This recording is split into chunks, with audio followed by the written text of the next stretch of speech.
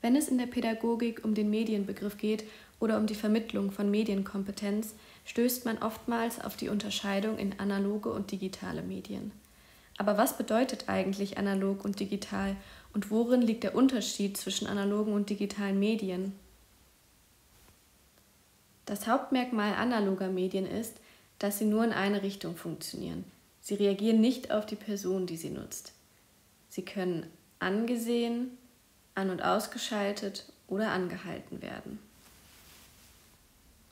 Digitale Medien hingegen reagieren auf die Person, die sie nutzt. Mittels Tablets oder PCs, mit Internetzugang, Smartphones und anderen digitalen Geräten können wir mit anderen in Austausch treten. Auch die Interaktion zwischen Medium und Mensch ist hierbei möglich, zum Beispiel bei digitalen Spielzeugen.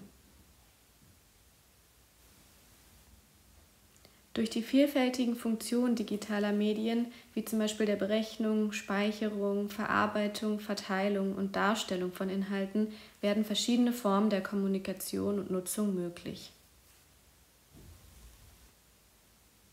Aus dieser Vielfalt heraus entsteht ebenso eine Verantwortung, digitale Medien als Werkzeuge zu begreifen, die sowohl positive als auch negative Auswirkungen speziell auf die kindliche Entwicklung haben können.